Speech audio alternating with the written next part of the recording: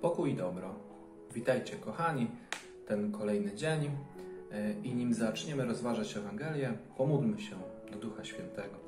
W imię Ojca i Syna i Ducha Świętego. Amen. Duchu Święty, który nas oświecasz, proszę Cię, abyś tchnął te rozważanie, w te słowo e, Twojego Ducha, Ducha mądrości, Ducha poznania, abyśmy przyjęli to słowo, abyśmy już dzisiaj je zgłębili, już dzisiaj rozumiejąc zaczęli wypełniać, który żyjesz i królujesz przez wszystkie wieki wieków.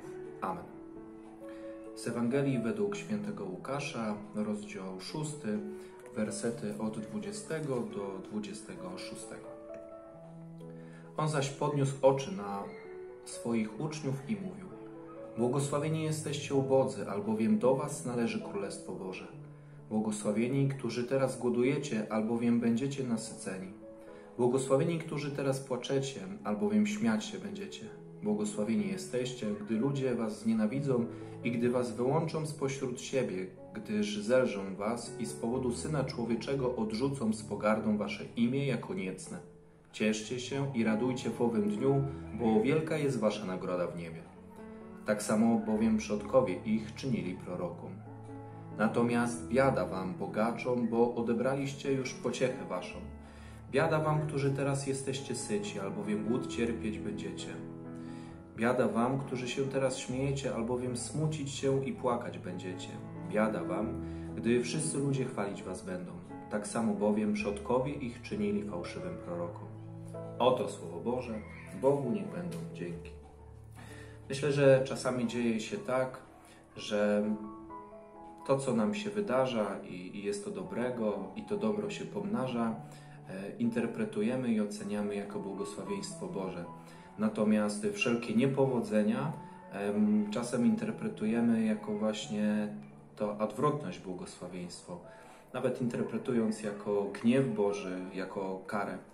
E, I idąc dalej tym tokiem myślenia, tymi skrajnościami, e, możemy bardzo e, dojść do bardzo niewłaściwych wniosków, ponieważ długi dobrobyt i wiele tego dobrobytu może zrodzić w nas pychę, której nie będziemy widzieć działania Boga, absolutnie doceniać tego dobra, bo będziemy uważać, że nam się należy pewnie przestaniemy za jakiś czas y, też uwielbiać Pana Boga. I w drugą stronę, natłok zmartwień, problemów y, i tych trudności, cierpień będą, mogą mm, w nas powodować coraz większe zdołowanie, coraz większą depresję i rodzić te emocje bardzo skrajnie negatywne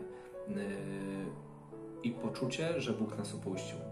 Natomiast dzisiejsza Ewangelia mówi do mnie o tym, żeby nie patrzeć powierzchownie na swoje wydarzenia życiowe, na to, czy, y, czy mi się powodzi, czy nie, e, ale patrzeć na to i interpretować to, broń Boże, na podstawie emocji, a zgłębiać to z Duchem Świętym.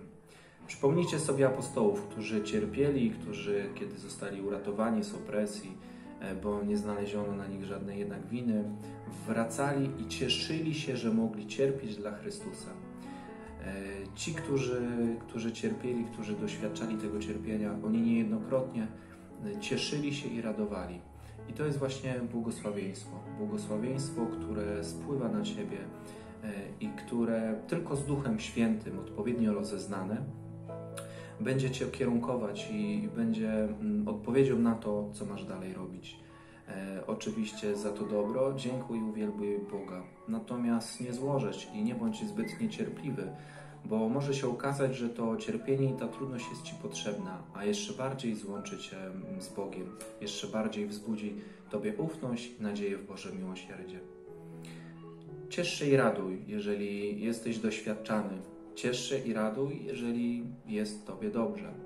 I za to wszystko dziękuj Bogu a nade wszystko proś Ducha Świętego, aby to On dawał Ci mądrość i rozeznanie tego, co dzieje się aktualnie w Twoim życiu i jakimi drogami kroczysz i w którym kierunku masz iść.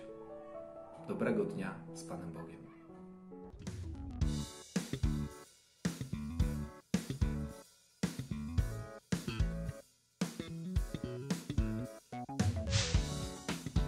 Zapraszamy do subskrypcji naszego kanału. Śledźcie nas na bieżąco.